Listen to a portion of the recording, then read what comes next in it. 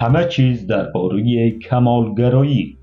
کمالگرایی یک ویژگی شخصیتی است که در آن فرد به دنبال دستیابی به بالاترین سطح استانداردها و موفقیتها است.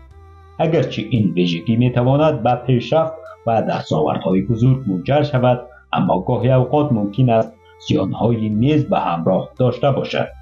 در این ویدیو و بررسی علل دلایل و همچنین سود و زیان کمالگرایی می‌پردازیم.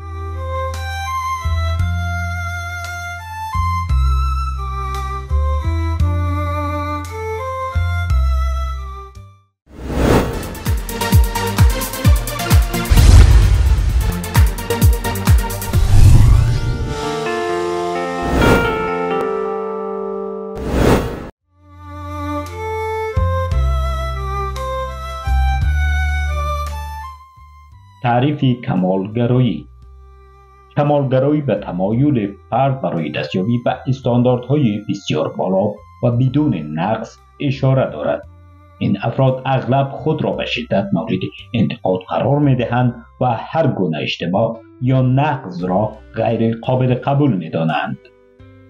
علل و دلایل کمالگرایی. یک تربیت خانوادگی. والدین سختگیر و انتقادگیر می توانند کودکان خود را به سوی کمالگرایی سوق دهند. دو تجربیات گذشته تجربیات موفقیت آمیز گذشته می تواند فرد را به دنبال استانداردهای بالا تشویق کند. 3. عوامل فرهنگی فرهنگ هایی که بر موفقیت و رقابت تاکید دارند می تواند کمالگرایی را تقویت کنند. چهار ویژگی های شخصیتی برخی افراد به طور طبیعی تمایل به تحقیق بودن و دستیابی به کمالگرایی دارند. 5 خود ارزشی پایین. افراد با خود ارزشی پایین ممکن است به کمالگرایی روی آورند تا احساس ارزشمندی کنند. سودهای کمالگرایی. یک دستیابی به اهداف بزرگ. کمالگرایی می تواند فرد را به تلاش بیشتر و دستیابی به اهداف بزرگتر سوق دهد دو توجه به جزئیات کمالگرایان معمولا توجهی بیشتر به جزئیات دارند که می تواند در کارها و پروژه ها مفید باشد 3.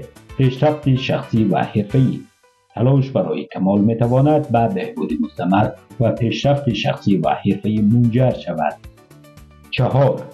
مسئولیت پذیری بالا این افراد معمولا مسئولیت پذیری بیشتر دارند و وظایف خود را با دقت انجام می دهند.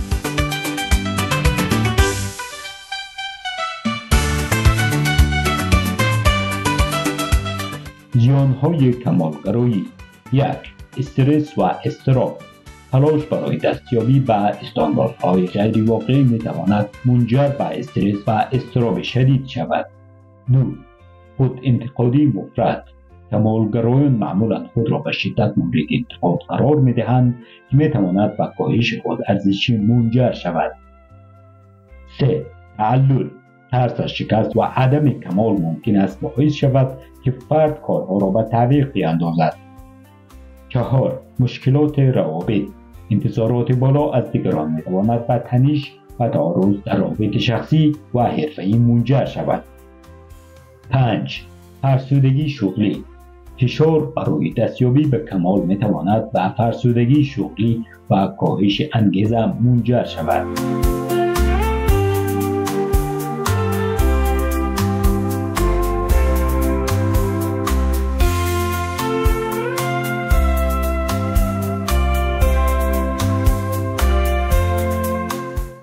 امیدوارم این ویدیو اطلاعات جامع در مورد کمالگرایی علل سود و زیانهای آن به شما ارائه داده باشد. اگر شما یا کسی را که می‌شناسید با کمالگرایی دست و پنجه نرم می کند مهم است که به دنبال حمایت و مشاوره حرفه‌ای باشید. از همراهی شما سپاس گذارم. امیدوارم که همیشه در تلاش برای بهتر شدن خود باشید. اما با یاد داشته باشید که هیچ کس کامل نیست. و امیدی دیدار در ویدیوهای بعدی.